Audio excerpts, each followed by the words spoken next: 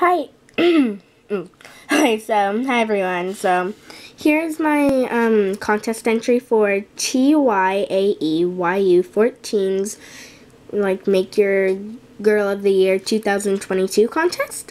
And, yeah, and mine is Natalie Nelson. And here is her story.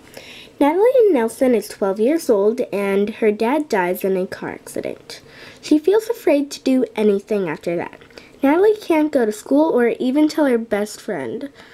Then Miss Clayton comes, her teacher, comes and helps her through her tough times.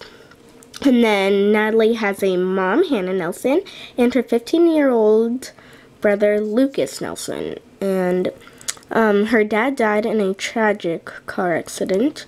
She has a best friend named Zoe, also Miss Clayton, her teacher. And then Natalie has the classic face mold. Oh, sorry, I can't see that. Okay, Natalie has the classic face mold, honey blonde hair, wavy hair.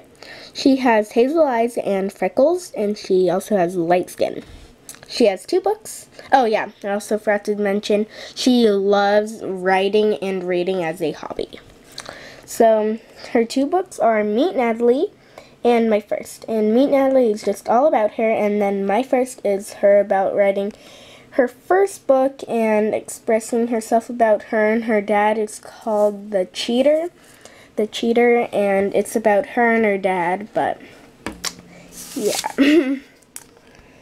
um, her meet outfit contains a blue sweater with red stripes, red pants, and then a necklace her dad gave her before he died. Engraved on necklace Forever Together, and then blue sparkly toms. And then here's what she looks like. Oh.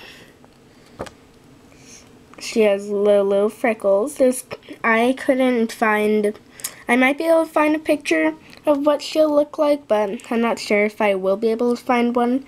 So, yeah, I sketched her. And I think it turned out pretty good, I guess. and yeah, that is Natalie Nelson. Oh, also, she has feathered eyebrows. And yeah. So that is Natalie Nelson and yeah. I hope you like my contest entry. So yeah. Bye!